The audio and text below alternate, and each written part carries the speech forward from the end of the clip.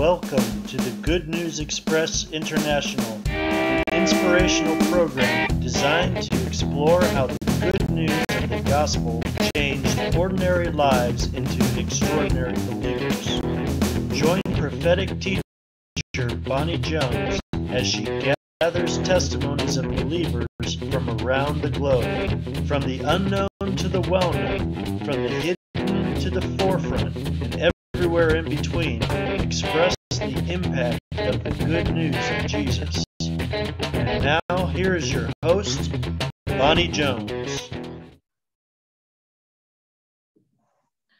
Welcome to the Good News Express, where everyone's testimony is important.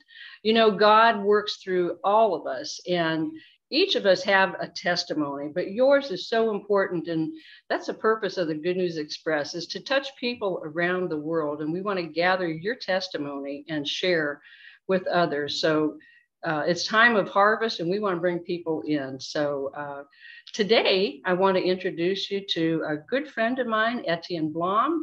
He's in Stellenbosch, uh, South Africa. And let me say something first. Hello, first. Hi, buddy.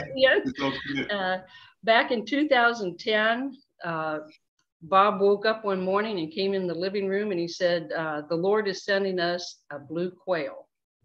So we had no idea what that meant, but you know, we thought maybe it was a bird. And uh, later that day, we received an email from Etienne and he was explaining how the Lord told him he needed to meet Bob Jones. And then we researched and found that uh, blue quails are indigenous to South Africa. So we knew that this was our South African son. And you know what? He was our white South African son because I thought all people in Africa were black, and I was wrong. but Etienne, I just uh, welcome you to the Good News Express. We've just had a wonderful, wonderful relationship. Uh, Bob loved you so much, and, and I love you even more. I get to have you longer than he did. but today, I'd just like for you to share. Um, how the Lord came into your life, you know, what you were doing, how he came into your life, and um, how he changed it, how the good news of the gospel changed your life. So I just give you the microphone here and tell you to go for it. Thank you, Bonnie, for the honor and the pleasure. Well, I grew up in a, in a Christian family in South Africa. We used to go to church, a very traditional church every Sunday we were there. My father was um, deacon and elder and everything in the church. But that was it. My life, when I was at school and things, I was so blessed. And basically, everything I touched on turned into gold. I performed in everything that you can think of what I touched. And then, and our household was very conservative. You weren't allowed no alcohol, no smoking, um, that was just from the devil. And yeah, but we, we read Bible, we prayed together, but that was it. Then after school, I went to university where I played. Uh, I made a good name in sports and things and rugby, but I then started drinking, oh. and I really went crazy. I started drinking, I started fighting, and women. I didn't finish my university then. I went to the army, just had the same lifestyle, no God at all, no church at all. Um, moved on, got married to a most amazing wife, and she she grew up in a very Christian family as well, but she loved the Lord and her example to me was always amazing. But then she had this husband like me that was totally off the rails. Well, you and, know, it sounds like you had favor.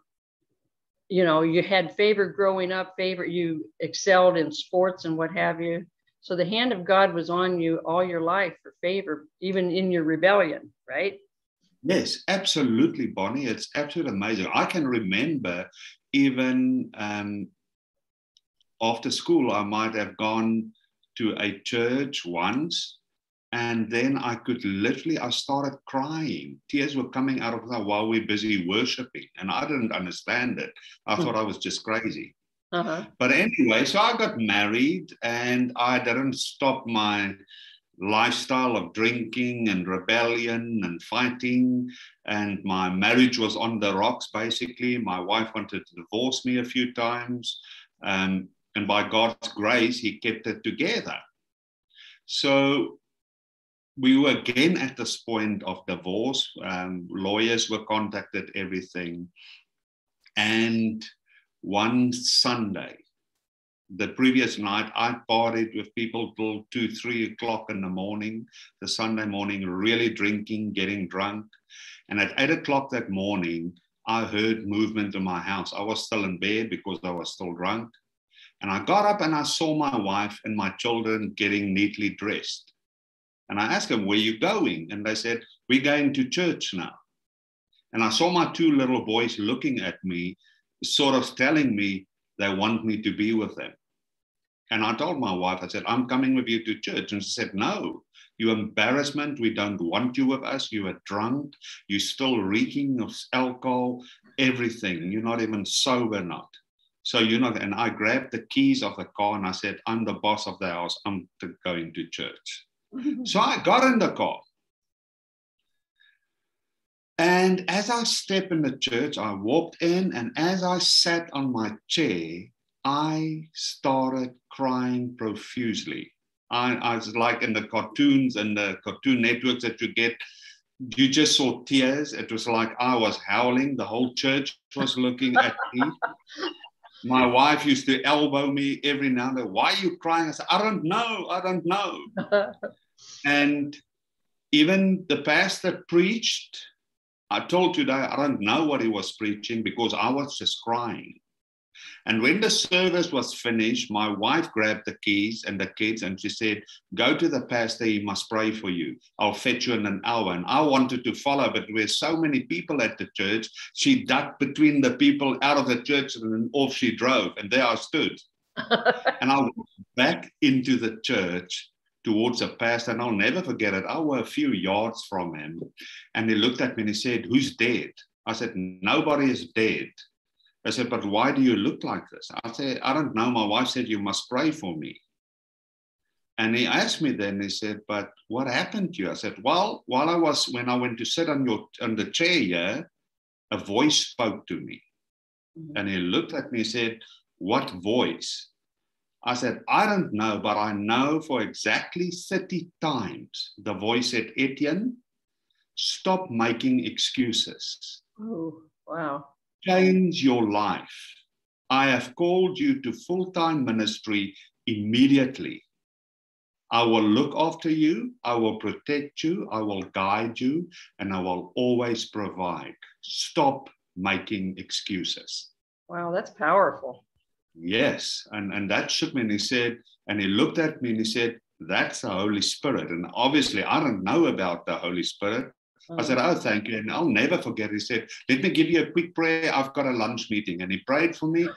and he stood up and he walked. Oh, my goodness. And I sat there for a while and I waited. An hour later, my wife came and I got in the car. And I think she was still cross with me from the previous night's drinking. I don't know what I said and done. And she just asked me, Did he pray for you? I said, Yes. I kept quiet, went home, got undressed, put on other shoes and get comfortable clothing. And I went into our suburb and I started walking all over the suburb. And this voice just spoke to me. And I just listened to this voice. Mm. At 6 p.m. that afternoon, I arrived back home and I called my wife. I said, Hetty, I need to speak to you. Please come to the room. And I think she thought I'm coming to repent or something for everything I've done. Yeah. But I made her sit down and I said, Hetty, I just want to tell you I'm going into full time ministry. she looked at me, she said, Are you crazy? Yeah. You don't know God, you are drunk, you fight with everybody, you're in rebellion. No, you can't do it. Who told you this? Where did you come to this idea? I said, God spoke to me. And she looked at me and she started crying. She said, So when do you plan on doing this? I said, Well, I'm resigning my job tomorrow morning. I was there for one of our big um, property networks. I was one, I was the top agent for a few months in a row in the country. So mm. I earned real good money. Yeah. And she started crying and she said, Etienne, but who's going to look after us? What about school fees for the kids? What about medical insurance? What about food? How are we going to survive? And I looked at her and said, Hetty, it's not my problem. God I like said, that. Yeah. God said he'll do it. And yeah. that is it. Yeah. So the next morning at eight o'clock, I arrived at work. I walked into the owner of the business. I walked into his office. I said, I'm here to resign. He looked at me and said, No, you can't. You're the top agent in the country. And they owed me an out currently, um, probably an American dollar com- currency, at least, I would say $70,000 in commission. Hmm. He said, You can't, you have to work a month's notice. I looked at him and I said, Listen, sir, I do you a deal. Everything you owe me, you keep it hmm. as long as I can clear my desk and walk right now. And obviously, and he looked at me and said, Well, that's a good deal. So I walked out and I had no money.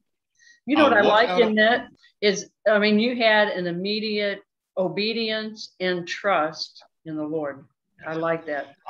I remember when I walked with the Lord as well that afternoon after church in the suburbs, He told me, I'll give you immediately, I give you wisdom, and I give you discernment. Wow. I'll never forget. And I walked out, and Bonnie, then I went home, and from there on, I'll never forget it. I started reading the Bible eight, nine, 10, 12 hours a day, nonstop, worshiping, um, even during the night times, I'll get up on my knees praying yes, to this God. And the, how the Holy Spirit used to touch me and, and I started feeling Him and I'm knowing Him. So mm-hmm. on the Wednesday after the Sunday, I had a person coming to me and said, Why don't you go on this Christian camp? I said, Okay. And I told Hetty, I'm going to this Christian camp. So I went there the Friday, and now they start talking about deliverance. They start talking about spiritual eyes, seeing in the spirit, and hearing in the spirit, and the spiritual gifts and senses. And I haven't got a clue what they're talking about. Oh. And I'll never forget it. And the Saturday afternoon, um, they they started doing deliverance in front of everybody where the pastors are. And the Lord told me, Etienne, you go to the front, let them pray for you. I said, No, I'm not doing that because I thought, what is going to happen? I see the people falling to the ground. I don't know about slaying in the spirit. I heard demons speaking through people. And I thought, no, I'm not doing that. And then the Lord clearly told said, go and stand at the pillar on the right hand side. And I went there and I acted like I'm just standing there watching what's happening because I'm embarrassed of myself. And I stood there, and then the Lord said, Everything the pastor prays over the people, you pray over yourself. So I'll never forget it. So I stood there, and the first thing the hmm. pastor said to this person was, The spirit of lust, get out of him and leave in the name of Jesus. So I looked at him like, because I haven't got, in my eyes, I had nothing. yeah. So yeah. I stood and I'll never forget, I went like this spirit of lust, get out of me in the name of Jesus Christ. and suddenly I felt something, and I felt something coming out of me. Yeah. I stood there for two hours and did deliverance like that. Wow. And that evening, I'll never forget it. You had to walk against a sports ground to get to the bungalows at the camping site where we stayed. And I walked out of that hall after ministry that evening, the session, and I shouted, Devil, you better run because I'm going to go across the world. I'm going to spread the love of Jesus, and you will burn at every corner where I go. Oh, I like that. Yeah. And I went to my room and I went on my knees because now I've heard you can see in the spirit and yeah. And I went on my knees and said, Lord, you called me. I've been obedient immediately. So now If you want me to be a powerful instrument for you, I want to see your face. I want to see in the spirit. I want to see every angel. I want to see every demon. I want to know what you're doing. I want to walk in the power of all your senses. I want to walk in the gifts of the spirit because I'm representing you. And I said, Amen. And when I said Amen, I got the fright of my life that I jumped and sat in the corner of the room because suddenly I saw hmm. angels, I saw demons, I saw things all over in the spirit. So you would say you came boldly before the throne, right? Absolutely. Yeah. Um, for sure. For sure. I didn't even know what's happening there. I just got the fright of my life then. but anyway, now I see. The next morning I got baptized. Sunday afternoon we went home. And Sunday evening, now I'm saved for one week. I lied in bed, and just after midnight, I felt a presence in my room, in our room. And I jumped off my bed, but it was good. And in front of my bed stood Jesus. Mm.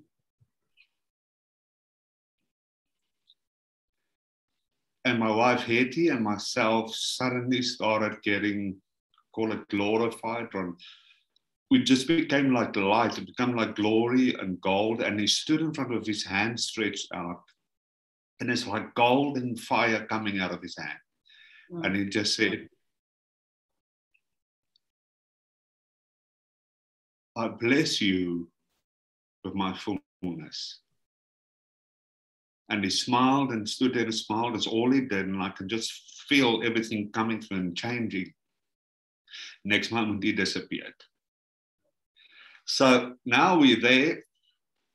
My wife tells me, You don't tell anybody that you're in ministry.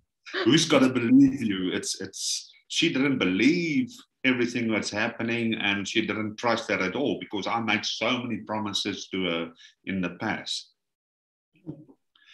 And it's crazy because the Monday morning, at eight o'clock, I get a call. Are you Etienne Blom? Yes. Are you in full time ministry? I said, Yes, I am.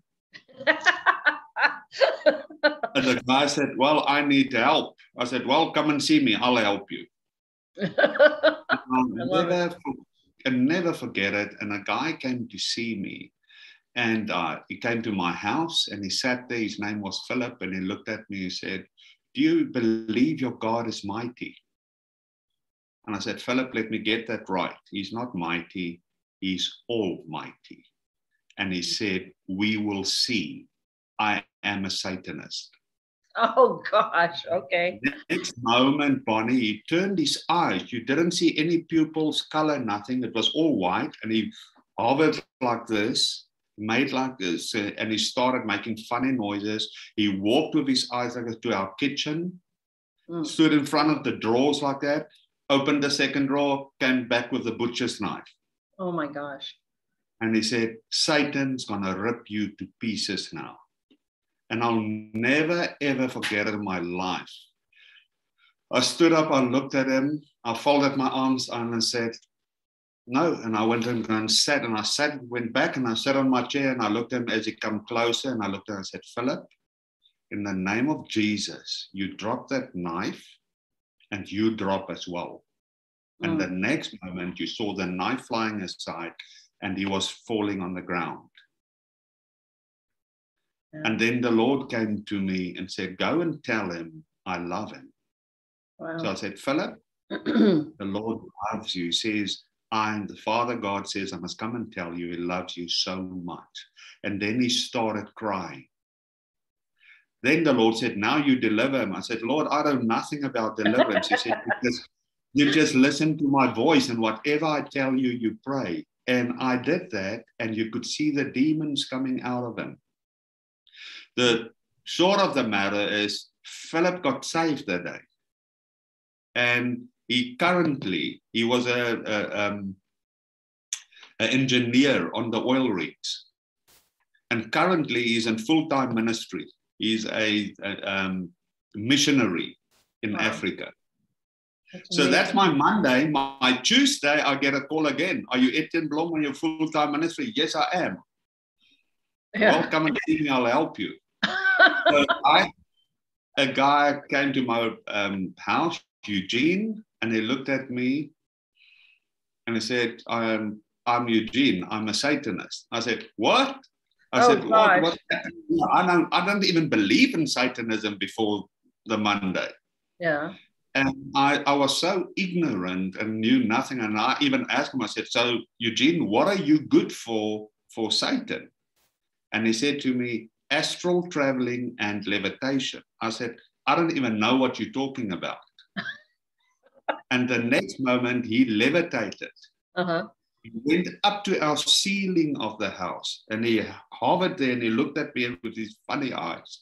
And I just said, In the name of Jesus, you come down. And he fell from there Yeah. on the floor. And the Lord said, Do the same as with Philip. Go and tell him I love him. And the same exactly happened as the previous day. Told him Allah, he started crying, did the deliverance, he repented, gave his heart to the Lord, and him as well is full-time missionary in Africa. Amen. Wow. And that's how my life started. And and yeah, then I just kept on in the word, praising, worshiping word six, 10, 12 hours a day. Yeah. Well, when did you, uh, I mean, th- those are awesome, awesome testimonies. I'm glad mine didn't start like that. Yeah. but, you know, you accepted the challenge, didn't you?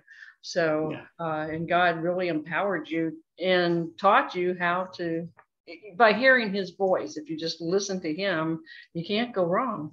And in the name and the power of the blood of Jesus.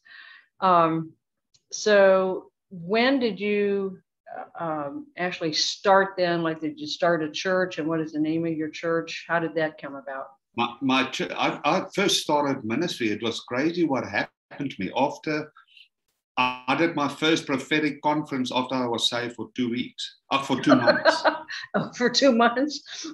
Oh, Yeah, I was invited to a prophetic conference. I did my Yeah. first international conference with Doug Addison after I got saved. I was saved for six months. Okay. And then I started traveling internationally.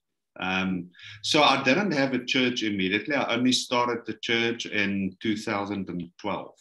Okay. But when, so when the, um, like phone calls or invitations would come for you to minister, you accepted and you went and, and Not did- all, Bonnie. Not not all, Not because the uh, Lord told me from the beginning there were three things that, and I still believe that's a key in everybody. There's three things that is said. First love. You'll have me as first love. Okay. You will you will be radical obedient, Yeah. and you will never compromise. Oh, Yeah. So, but radical obedience means not taking all invitation. I only go where the Lord tells me to go. right.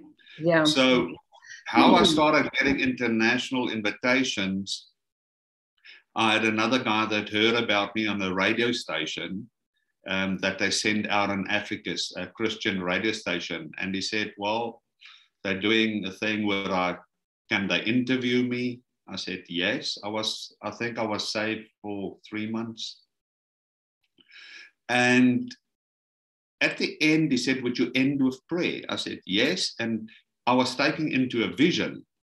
And I said, I see a 12 year old girl in Zimbabwe sitting on a, I think it was a blue couch. Um, you've got cerebral palsy. Um, but the Lord's coming in right now, and you're going to stand up, you're going to walk, you're going to be healed immediately. And that's it. And I said, Amen. And that's it.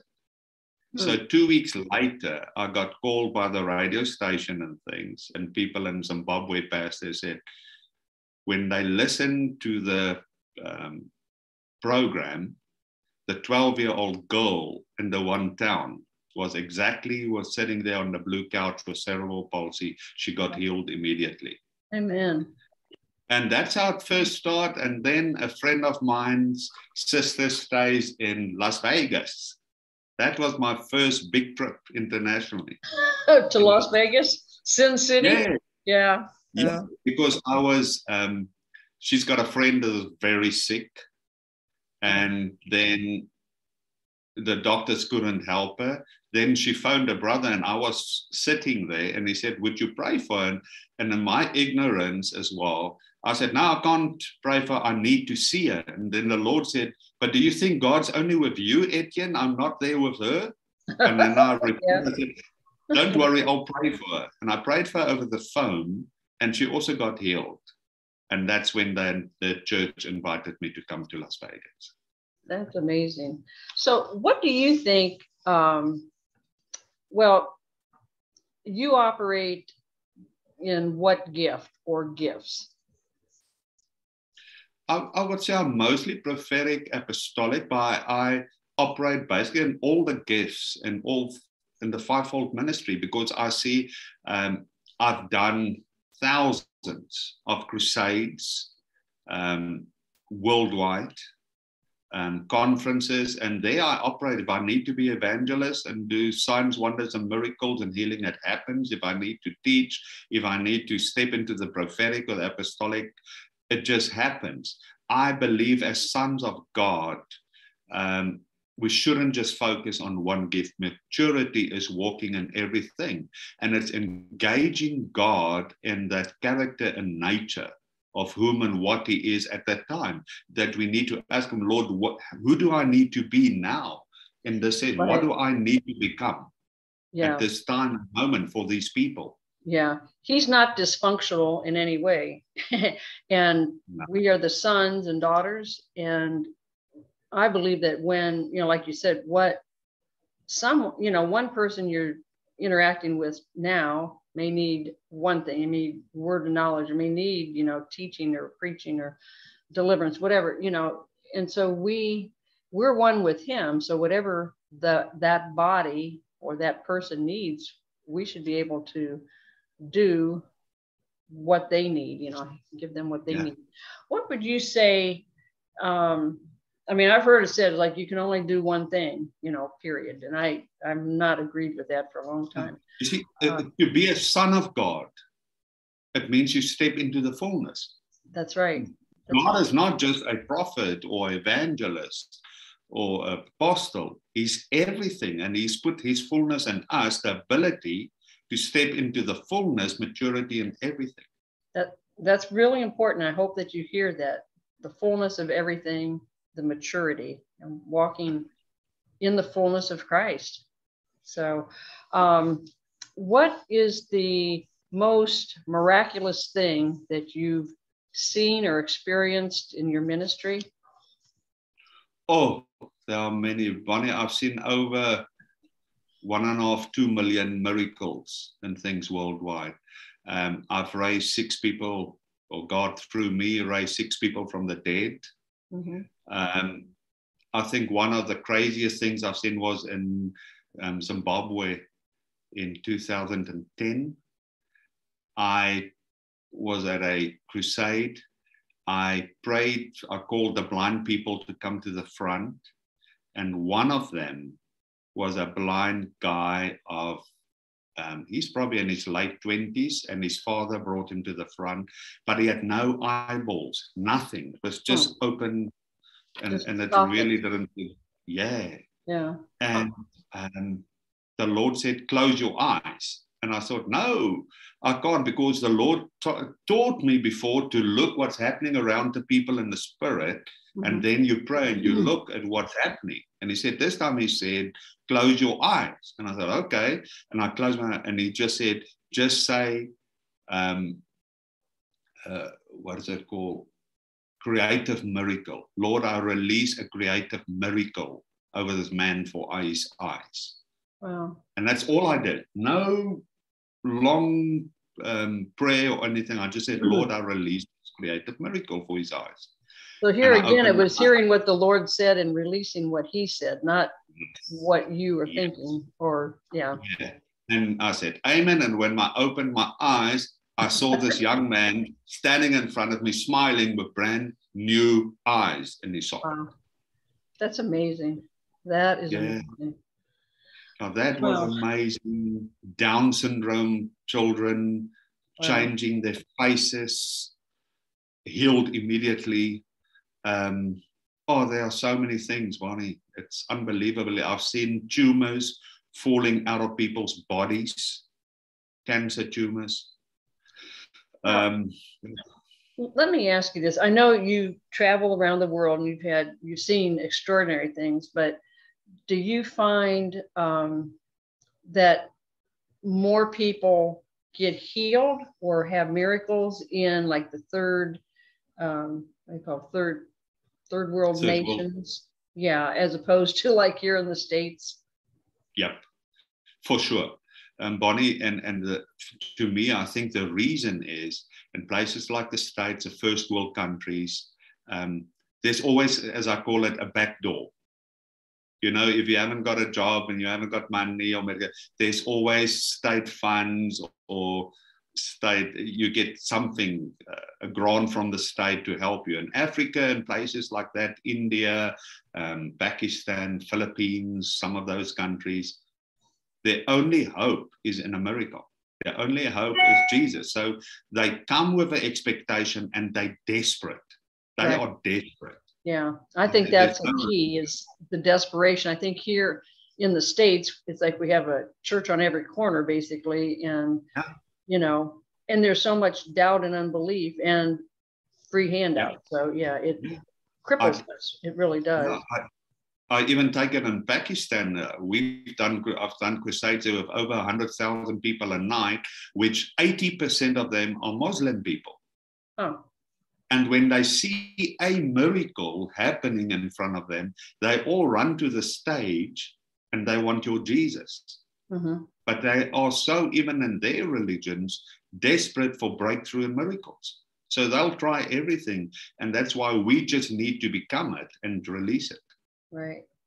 Um, you know, I think I heard you talk one time about, um, oh, oh my gosh.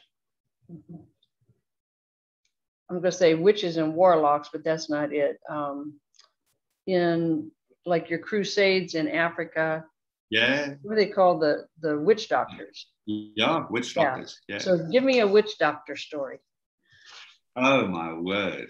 Um, we get at, at just about every crusade you will have, the witches and the witch doctors would come to the crusade, they'll walk around, they'll throw dust around and things around powders to try and disturb the whole spiritual atmosphere.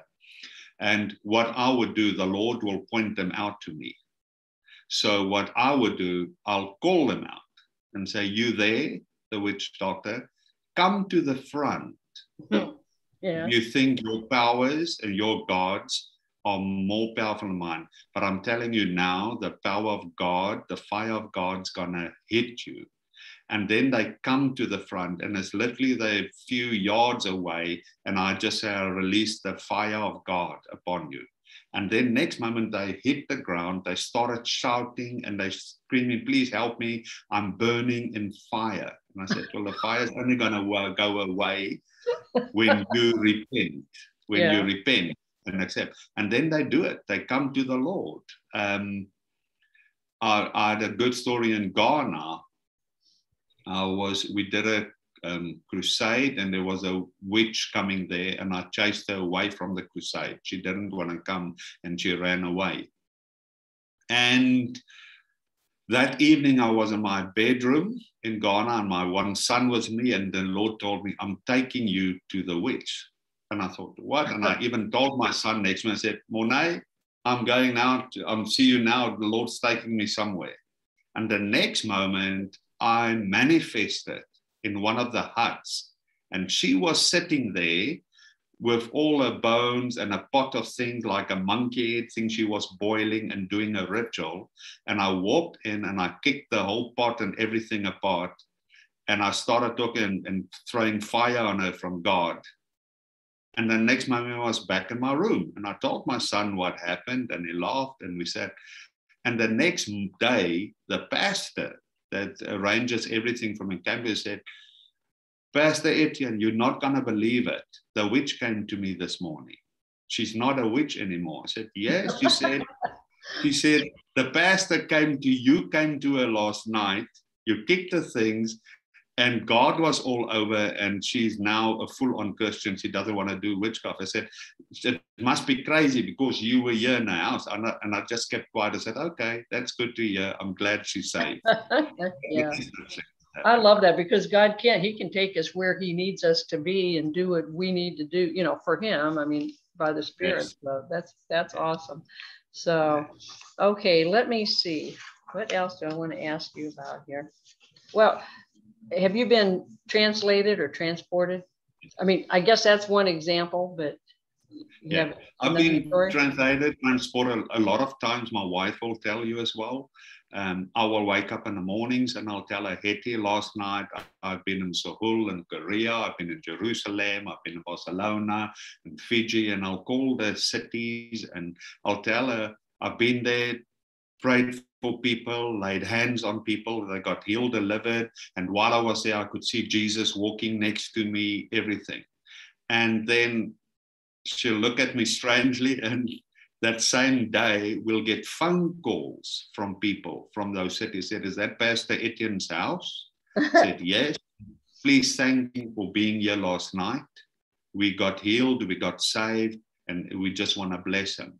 So those things happen. And and, and even in Charlotte. I'll never forget it the one day um, you and Bob, no, it was Lyn and Bob, dropped me in front of Morningstar. Mm-hmm. And there was a, it was a weekend of a conference, and I saw a lot of people at the foyer and the entrance, and I thought, Lord, how am I going to get through all these people now? Because I know some of them, they're going to ask me to pray for them, and I need to rest now. And I'll never forget it. Lyn and Bob were driving away, and I waved at them. And the next moment, I was standing in my room with my key. I like didn't that. walk, didn't do anything. That happened twice to me at um, at, at Charlotte. That reminds me, like Jesus, like how he got through the crowds. You know, I mean, he just, you know, he did. Yeah. Yeah. yeah. So yeah, you've had an amazing, uh, amazing ministry so far. And I want you, what is the name of your ministry? Kingdom Fire Ministries. Kingdom yeah. Fire Ministries. Okay. Yeah. Um, yeah, I think God has so much more for you to do. Hopefully, you and I together, some of them. Um, Definitely. But you know, I've I've always felt that you are like the uh, like Bob took the body of Christ as far as he could. And you are that new breed. You know, you are the new dimension.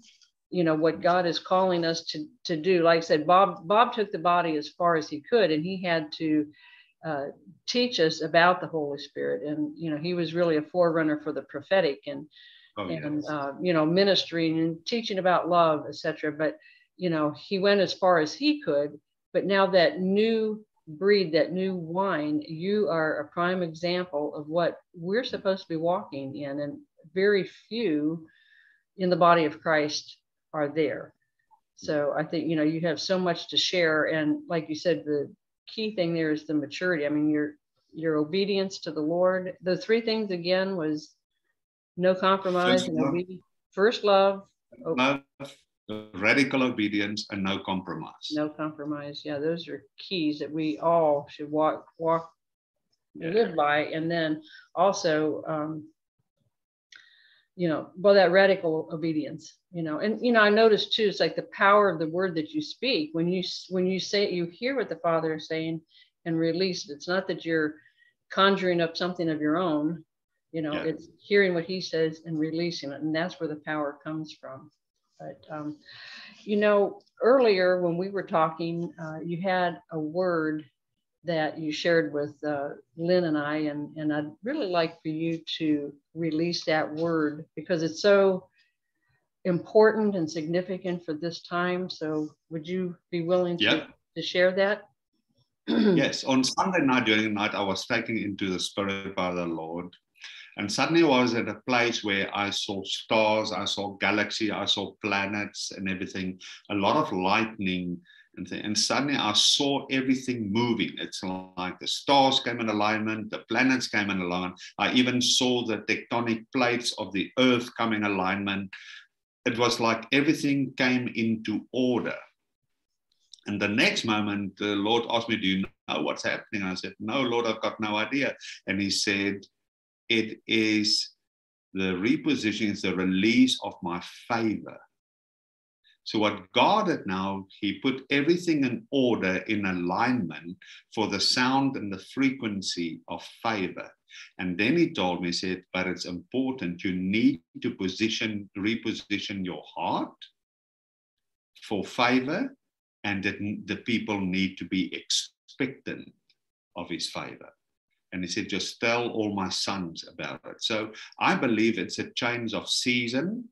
And that's why we are going through all these trials and tribulations in the season worldwide. Right. Because God is, is, is getting rid of all the things in us that defiles us, all the things that keeps us away from Him. And He's bringing us to maturity so that He can trust us with His favor and His blessing. Right. That's a big thing. Yeah. It's That's- that's a about asking powerful for word. It's about trusting. Yeah. You know, like you said, they're repositioning our heart. You know, I think Yeah. so much of the time that, I mean, we love the Lord, we trust the Lord, we want to do everything for the Lord, but we still have doubt and unbelief. And I Yeah. think that that's part of it, you know, and, and doubt and unbelief, you know, then we're not really fully trusting. But as sons and daughters, you know, we need to, and I think you said repositioning our heart. So, you know, we need to receive. I, I like to take communion every morning, and that's one thing Ah. I always say. You know, so I'm receiving the fullness of what he he died for. You know, he gave us everlasting life, and I want the fullness. You know, I want to receive it. So, I think that's really powerful. Can you think of anything else you'd like to share? Just I don't like to to end our our session because it's just so awesome. But do you have anything else you'd like to share with us? Bonnie is, is, is just that I truly believe that the the church must rise up in this time and season. And the leaders must rise up, and we must first realize, we must come to the realization you are firstly a spiritual being. And that we need to step into that spiritual realm to bring heaven to earth. That if something is not framed and formed in the spirit, it can't manifest in the earth with the eternal value, the everlasting value. And that is where we need to. We've got the greatest opportunity now on this earth to glorify God and to manifest God. And I've said it before, so many contacts, I had so many encounters with Paul in heaven. And he said, I am jealous of all of you not being able to live now on earth. You live in the greater season, the greater glory. And I believe it. We've got such a opportunity mm-hmm. to manifest Jesus. We need to t- get our eyes back onto him and don't look in the natural. If you're going to look in the natural now, you're going to miss Jesus. Right. And you know, I, I think a lot of people that are watching Etienne's testimony, they may not understand, they may think like this guy's crazy or something, but if you're walking in the spirit and you're being obedient to the Lord, these things that he's talking about, they, they should be something happening every day for us. It should, it's the ordinary, not the extraordinary. It should be the ordinary. And, you know, we're lacking it because we're not fully being obedient and trusting the Lord and making him our first love. We're we're limiting what God wants to do through us. So what all these things that he's talked about, if you're not believing it, ask the Lord for an experience like what Etienne has had, because he, he's not limited at all. No. Bonnie, if I can give a key there, I think most people seek the Lord daily because they want something. hmm And all these things that are happening in my life, I seek God because I love Him and want to be with Him. So all these encounters and things happen naturally. I never asked to go to heaven. I never asked to go here or do that. It just happens. Right. Because you seek Him. It's all about Him and not about the encounter, not about the experience. It's about Him. Right. That's that that is key. Yeah. It's witchcraft if you're trying to make something happen, but yeah. He wants to be with us more than we want to be with Him. So yeah. He invites us into that place with Him. So it's just you know, it's just that longing to be together. It's like when you were dating Hetty, it's like you really wanted to be with her. You went to yes. any extent probably yeah. to be with her. Yeah. So it's, yeah. it's just like he longs for us more than we really long for him. So would you, um, as we wrap this up, would you bless us? Would you pray for the yes. Jews? Yeah, for sure. Father, we just come and we glorify, we thank you. Thank you for the privilege and the honor to walk each and every session, every minute, every second in your presence. Thank you that you have chosen us, that you have set us apart, that you've equipped us, that you have given us, as in Colossians 2, the fullness of the Godhead three and one, that we actually lack nothing. So, Father, I come today and I ask that every listener, viewer now, that you'll, you'll activate their eyes to see and their ears to hear with spiritual discernment. Lord, I bless them with the fullness of the character, the nature, the authority, the power, and the love mm. of the names of Yahweh. All the 70 two Hebraic names of God. I bless each and every person. I bless them with the fullness of the provision and the power of your covenant and the blood of Jesus Christ. I bless them with the manifestation of the perfection of love and desire and passion for you. I bless them, Father, with your goodness and the covenant that you have declared upon them that you will give them the revelation of love, the revelation of Jesus, and that they will also walk like Jesus and like Paul, who said, If you do what I do, you do what my Father in heaven is doing. So, Lord, I declare that you'll make each and every one viewing this and listening to this now mighty instruments of heaven, of you, to spread the glory of God upon the earth and the billions of souls will come and bow their knees and declare Jesus is King. We bless you, Father, and we thank you and declare that you are truly the great I am. Amen and amen. Amen. Well, thank you, Etienne, for blessing us today. I know that everybody watching will be just truly blessed with your testimony. And I just thank everybody for joining us today. And, um, you know, Jesus came out of the wilderness and he started preaching, you know, repent for the kingdom is is near at hand. And the last thing that he said before it was after his res- resurrection and before he ascended to heaven, he said uh, that we should go into all the world and preach the gospel. So our hope is that we reach people around the globe. And if you would like to be part of the Good News Express, we just ask you to uh, go to our website and, and uh, fill out the application, be a part of this because every testimony, you know, it's it's the testimony of Jesus, what he's done in your life. And we want to hear from you. All right. Everybody wants to hear from you because everybody has a testimony. So be blessed and we'll see you next time. Thank you. We hope that today's testimony has both glorified God and implanted the seed of a new perspective of His love for you. If you are wondering, how can I get my testimony on board the Good News Express, simply go to our website at didyoulearntolove.org and click on the link for the Good News Express. It will take you to the easy to fill out application page. Once you're finished, Click Submit.